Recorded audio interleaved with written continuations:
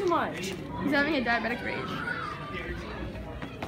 Oh! Oh! This is no!